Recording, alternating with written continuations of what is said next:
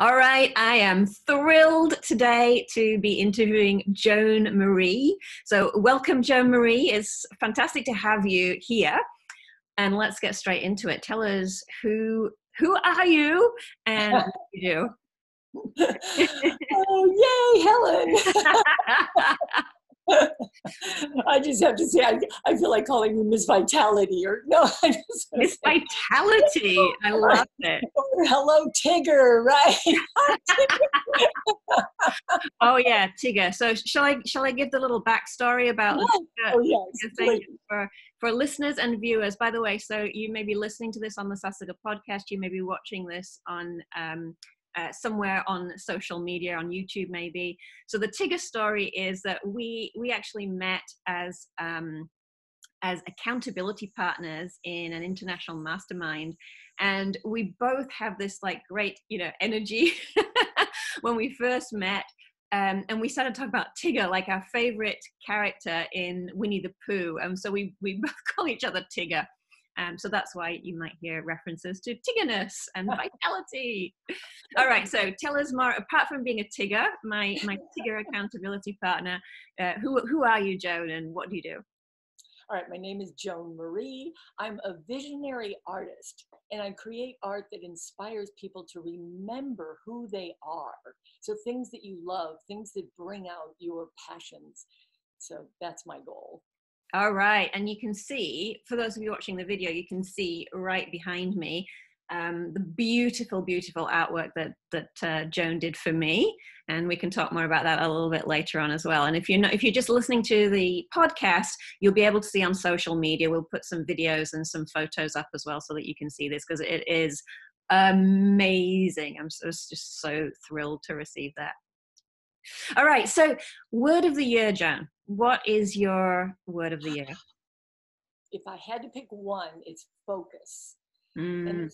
That's kind of funny, isn't it? If I had to pick one, it's focus because yeah. So oh my God, how do I focus on one word? So, and of course, I have to break focus into many layers. You know, we can't just uh-huh. word. So, so imagine focusing. Focus in the moment to mm-hmm. To be present in the moment Mm-hmm. And when you're present in the moment, you're not thinking about the past or the future. Mm-hmm. And that means that you are engaged in what you're doing, which uh-huh. also means your feelings are connected. You know, it's kind of multiple. You know what I mean? It's like if you're focused and you're able to stay focused, it means that you have a feeling, passionate connection to, uh-huh. or you've developed it. You know, like if you're doing something you don't necessarily love, but you've developed a skill to say, mm-hmm. okay, I don't necessarily love this task, but I have shifted my attention to loving it in some way so where I can stay focused to get it done. And when mm-hmm. you're focused, you just are in a better place. Mm-hmm. And, and, but focused with good feelings. Focused so, with good feelings. Uh-huh. Yeah.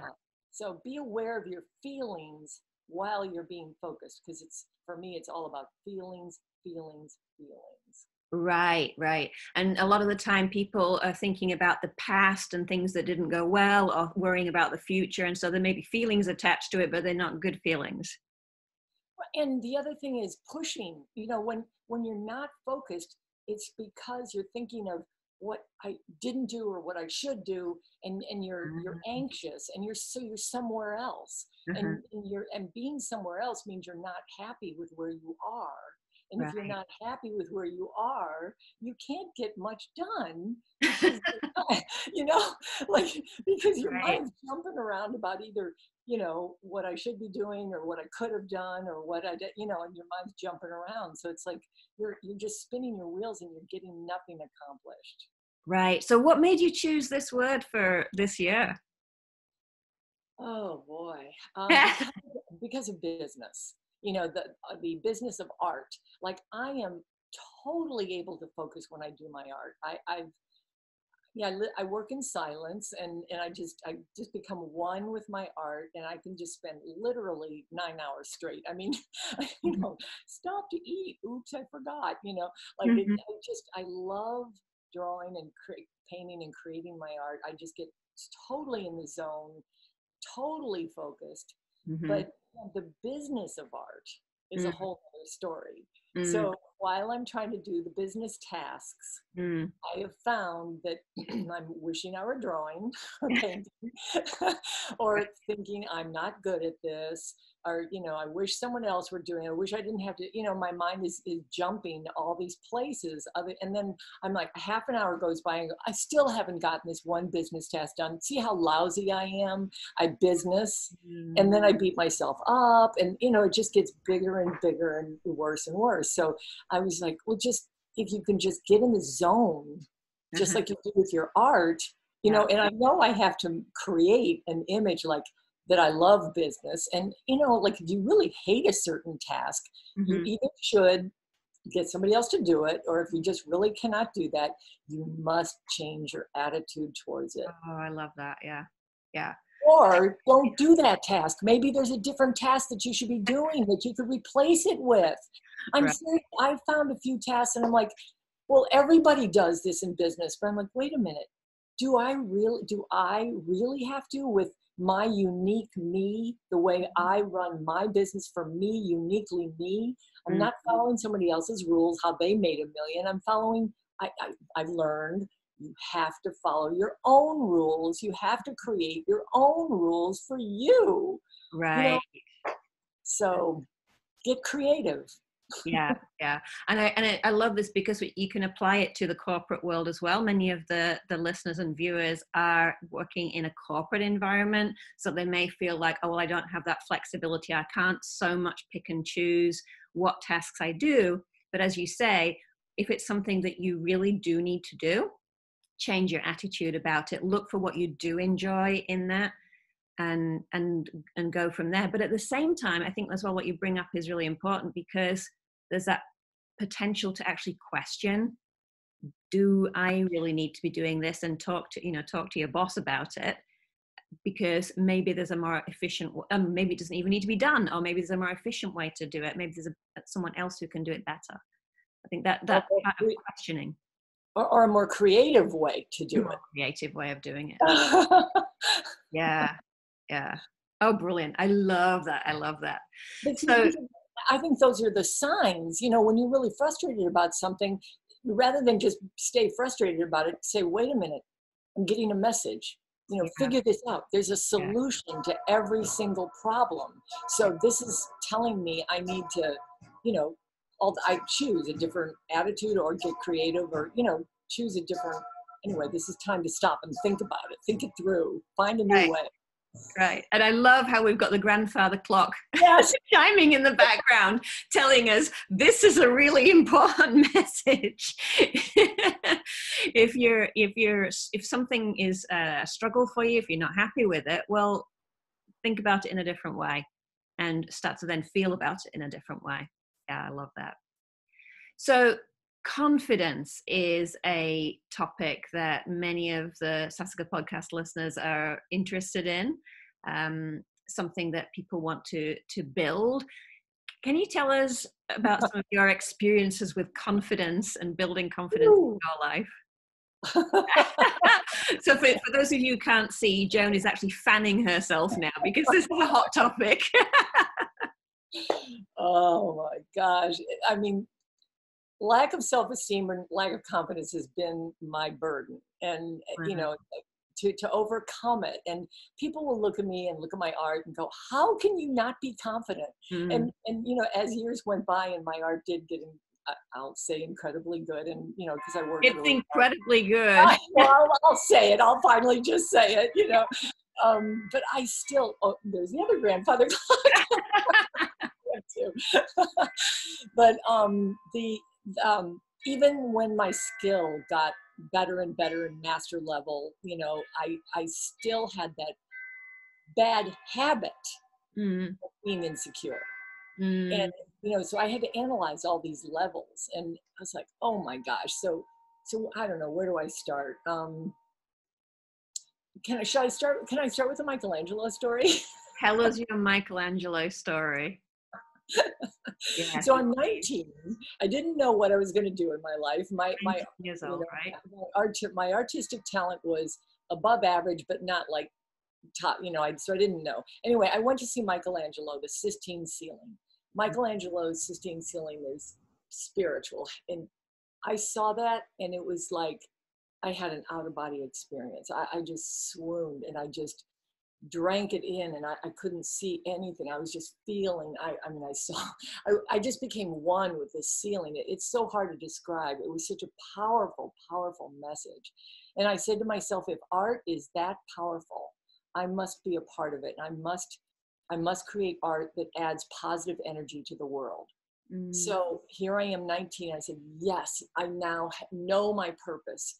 So I was all excited and high energy, went to college, went to the right, you know, very upper level art college.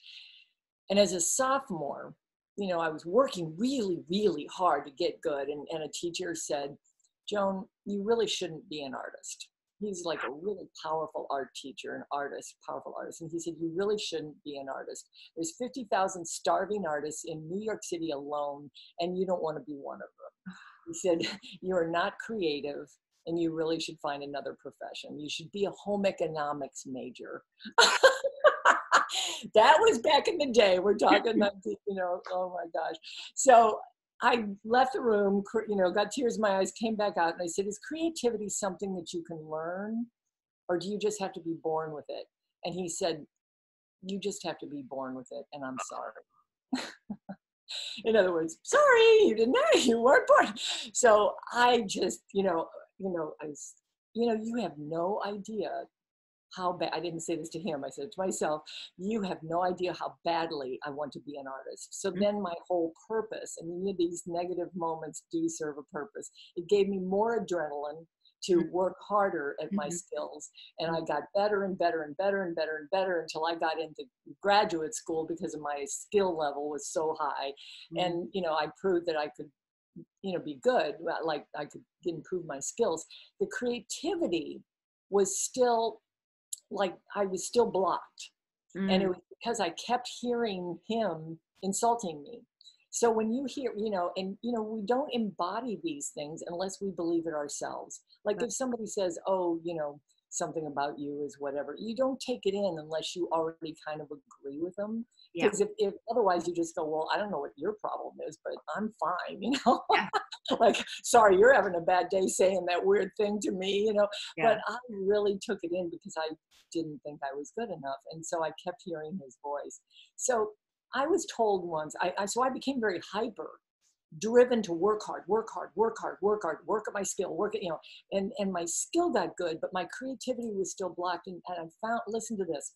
They said being hyper, which means a lot of us pushing too hard, yeah. trying to get somewhere, pushing mm. too hard, pushing too hard, working too much. Mm. You are not happy with who you are.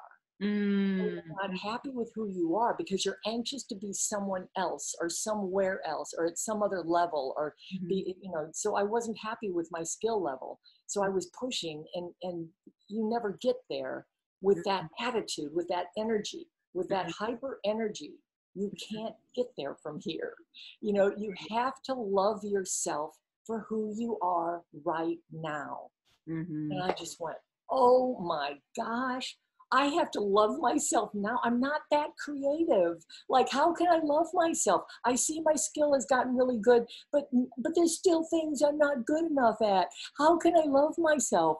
Mm-hmm. And you know, but I had to do it. Mm-hmm. I re- when I found out that's the law. That's life's law. Mm-hmm. Everybody needs to understand that. And so I drew about being peaceful and quit, stop being so hyper and, you know, slow down, slow down. And then you have to work at breaking the habit, you know, of being hyper and, and, and that habit of putting yourself down. So in general, that's, that, that was the big lessons, that some of the big lessons that I learned. Yeah. Oh my goodness. I, I love that. I mean, it's something that personally resonates for people who've been listening to me or, or you know, following me. You know that I, I have a, a history of being um, a, a, huge overachiever and a, the pressured people pleaser. And this is something that I've been working on over the years. And I'm really encouraging um, other women in business, especially, to to look at you know your your the way you're thinking the way you're feeling the way you're you're behaving and uh, and look at it in a different way because absolutely joan as you say it's just like push, push, push, push, push, and then there's never any real sense of satisfaction then. So yeah. Yeah. So so other things that I realize is uh, you know I was doing different kinds of business in art, and they would fail, and then they'd fail, and then they'd fail, and I I and i'd look at the perspective you know after they failed, and I was like, well, it always moved me to the next effort, you know, another another type of business to try. But I mm. realized number one, I was pushing too hard. When mm. you're pushing too hard, you can't get to who you really are. What are your values? Mm. You know, like mm-hmm. stop and say, is is the business and the art I'm doing right now relating to my values? Mm-hmm. You know, it, it was about pushing too hard. I know I still hadn't quite gotten that down and I still hadn't quite gotten loving myself down. But you know, in this in the in the effort to make money or mm. to make business work. I started getting veering away from what really matters to me, my values. And right. so you have to stop. You know, when things fail, you know, that's the huge wake up call to stop and analyze what you're doing again and say, am I being true to what what do you really want? Mm-hmm. What really matters in your life? What makes you feel good? Mm-hmm. Is that business you were doing you know is it does it really make you feel good is it your is it does it reflect your values your passions mm. and so when i stopped and looked at something i was like wow i was doing that business just thinking i could sell or you know mm-hmm. things were starting and i won't go into all those things but you know mm. that general lesson of you know stop and, and study and look at your values mm-hmm. So, this is something that I'm guessing um, many listeners, people watching this, they're they're busy with day-to-day life they've got like high a lot of pressure at work to get things done. There are so many demands in the corporate world. There's maybe family um, demands to deal with as well. And i know a lot of women especially who i work with they want to do something different be different in a way but don't seem to have that time to to reflect. What what are your thoughts around that? You have to. you if you don't, you're just gonna years are gonna go by and you're gonna go, what did I do? You're gonna live in that regret thing, you know, we were not allowed to regret. You know, so stop and say, I'm not gonna regret. I'm I'm going I have to stop, even if it's five minutes. We can all stop for five minutes and just, you know, jot some notes down, let your hand fluidly write or, you know, just just feel yourself for a moment you know if you're 10 just and we all have five, ten, fifteen minutes that we can stop you just have to yeah if, if your life is important to you if your happiness is important to you mm-hmm. you know you're not going to get anywhere your life will not get better if right. you don't stop and reflect i mean as far as um, you know happiness and a sense of feeling good about what you're doing because you know how many people spend 10 years at a career or 50 years at a career and just go wow, I never did what I loved, you know? Yeah, yeah. And then also it's the impact on the people around as well.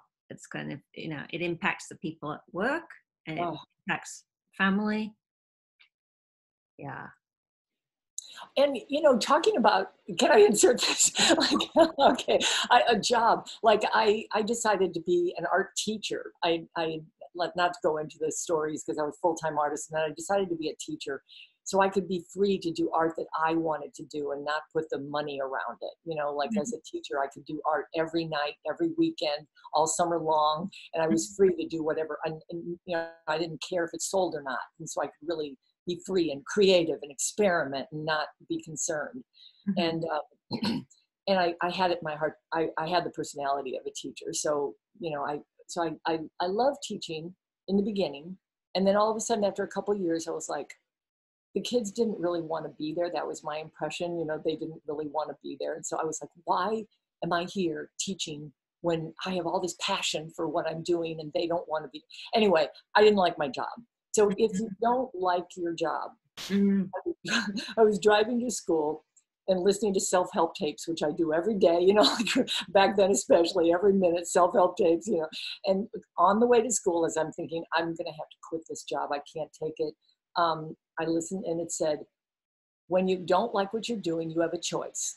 Either mm-hmm. quit, yeah, quit, your job and mm-hmm. find a better one that makes you feel happier or better, or if it's you know you want if you decide you want to stay you can't just stay and be unhappy you have to change your attitude and give it your all yeah you have to give it your all because when you start not liking something you back off and you start half-heartedly doing your job and then it multiplies then you hate it even more because it's not fulfilling in any way mm-hmm. so i stopped and i studied my values and my two top values were spirituality and creativity and mm-hmm. i was mm-hmm. like wait a minute i can I can, I decided my teaching job was a good paying job and, and, a, and, a, beautiful district and really great kids. And I just changed, I said, I'm going to stay in this job.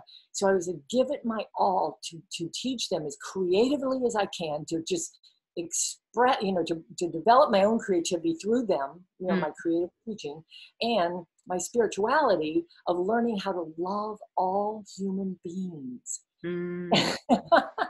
you know, every child that's in that room you just love them for who they are no matter what happened to them and the fight in the hall or the horrible morning or the you know no food in the morning or you know whatever angry mood or whatever attitude they're from you just love them for where they are and and boy that exercise of practicing my spirituality with them and my creativity right. I, I developed a class called creativity which is about creating your life not art I uh-huh. mean, you know, create your life because we can create our lives, you know. So I, I, you know, I so I ended up loving my job because I got to teach this class, and you know, and I just anyway.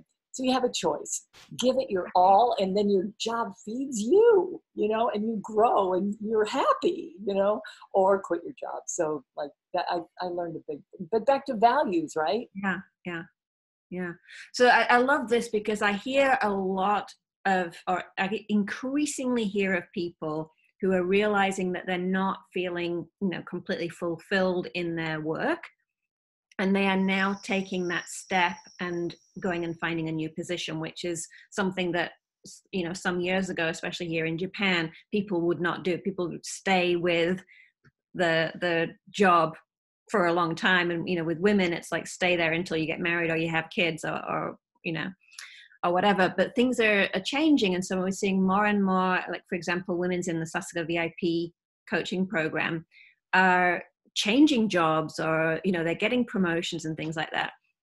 And what you say is so I, I, hear the success stories of people who go and find something new but what you're talking about is you're staying in the same actual job and then you're looking at it in a completely different way by asking yourself what your values are.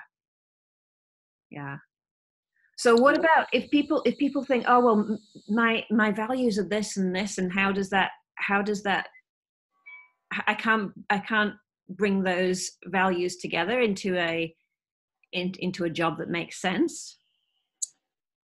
Um, well, yeah, you know, well then maybe you don't. Maybe you're really in the wrong job. Then you know if you mm. really. But you know sometimes you have to push yourself. You know it's like the first top three answers isn't always your solution. If you sit and force yourself to come up with more creative ways to make it work, that's if you feel like you really want to stay.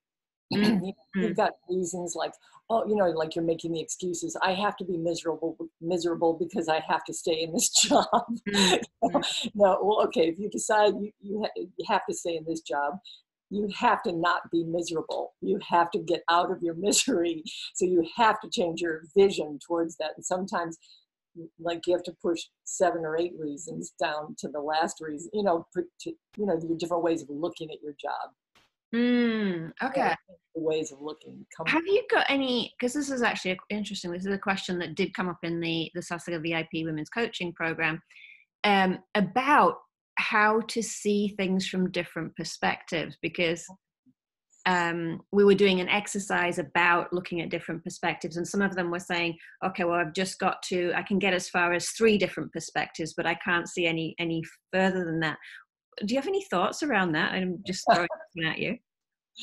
Uh, you know, off the top of my head, that that sometimes takes a little time, you know, to push and and, okay. and, and, and creative. You know, like now that I have experienced more creativity, I know that like with my students, like the first three responses are not always your strongest. Pushing and pushing, sometimes it's that last one and you know, that ninth one or the seventh one and and pushing is not easy you know and you think three is all there is but you know that's like that's like saying life is what we see you know? Right. you know life is so much more expansive and we have much more creativity naturally in our minds by the way. We all have creativity. All all of us do. We just might have it blocked because of insecurity or yeah. or you know being told that we don't or just you know blocking it. But we all have creativity, so exercising. I can't think of something off the top of my head right now, like as an example, but it takes time to push sometimes. So I think that's that's that's maybe the key. Is it's not a case of just giving up right then and there. And yeah. what you said earlier on, as well as sometimes if you're pushing, then it doesn't come. But it's maybe it's about giving time and just sort of yeah. leaving open to possibility. And then you because like I mean, for me certainly, it's like go in the shower, ideas. And, and so sometimes just from a change of environment ideas can come as well right? Yeah just ask. I need more solutions. Help me yeah. you know? Even yeah. if it if i find it out tomorrow like you said later you know just yeah just ask. Ask and you shall receive right? Right. Yeah. Love it's it. true. it's true. fantastic. So what else what else do you want to share with the Sasuga podcast podcast listeners and our, our viewers today? I don't. I just with, with the student ones, we were talking about values and mm. and passions. You know, like what, and we did all this work to get to their top two things. And I'm not going to go through all that, but we did a lot of listing our passions and listing listing our values, and then listing the two top things. And this one student, her two top things was, um, I want to be a nurse. I just know I want to be a nurse. I want to be a caregiver. And mm. then I love history. I mm. love to study history and to talk about history and think about history. And she said, and I said, wow, those are two very different things, huh? She said, yeah. And I said, well, why don't we give that some thought? Relax, let's think about that. Can we get creative with a job? So we sat and I said, what about if you were a caregiver that as you went into your patient, you gave them a little tidbit of history, like you shared some little history, you know, like something, because you want to talk to the patient, right? Mm-hmm. And then mm-hmm. you've got this reputation as being, oh, that's that nurse who knows history stuff. And so some person who needed private care and loved history would hire you. You become a, a special, unique you know caretaker that has knowledge of history and they want you around because you can share this these interesting this interesting information along with caring and mm-hmm. so i mm-hmm. mean it's like who would ever think those two things could be combined right right right so if you think of you know if you get creative yeah. you can create you can create demand for your unique self and still your two pat and keep your two passions alive I love that. And that gives me another idea as well for what we are talking about earlier is if you don't have the idea that comes to you to you or you're not seeing as many perspectives, asking someone else because in that case that student asked you and you came mm-hmm. up with the idea. So just talking about it mm-hmm. can, can bring in more ideas as well. Mm-hmm. Wonderful. I love it. Oh, so great. So yeah, I, I, I just wanted to mention a little bit about the um, the eye energy portrait. So this is just one of the types of the many many types of fabulous art that you do, isn't it? Oh, here I've got a I've got a lion. Look, it's, it's way too big. Way I didn't big. even know that was at the site. So, okay, so everybody's listening. You have to see the video. Oh my goodness, I didn't even know that was there. So gorgeous, and look at the gold. Yeah. Oh wow wow, wow. Um, what what I want to do as well is is post um, some of your share some of your videos, Joan, because um, cool. just seeing those videos of you working mm. is just absolutely beautiful. It's like it's mesmerizing. It's so so beautiful. Um, and for me, you know, I when I learned about the amazing work that that you're doing, Joan, I was like, oh yeah, I absolutely need my own eye energy portrait, and and you created this this absolute masterpiece for me which which now it, what i love about it is that it's you know it's i can move it around and i can oh, cool. I can sit it you know if i'm if i'm working in a different place i can actually sit it there and and get the inspiration from it. So it's just absolutely wonderful. And we'll also share the video of when you when you gave that to me and i and i opened it up and yes. i was just like oh, it was just so emotional to be to to open that up. and the piece of the piece of art that for those of you who are watching the, the video that you can see above the eye energy portrait that's actually just your practice piece right? Yeah experimenting to yeah. I love that. i did that several times you know yeah. So so wonderful. Um, and you mentioned as well about just the power of having things around you to to inspire you yeah so when that now i am totally at, so high about what i'm doing because i am using my values i'm expressing my spirituality through my art and the powerful michelangelo's spirituality spirituality that that i was told at 19 that i need to do and that i got waylaid you know between insecurity and trying other directions and all mm-hmm. these things but now i've come back to the powerful spiritual messages because I now I'm sharing, you know, what do you love? What are your passions? What turns you on?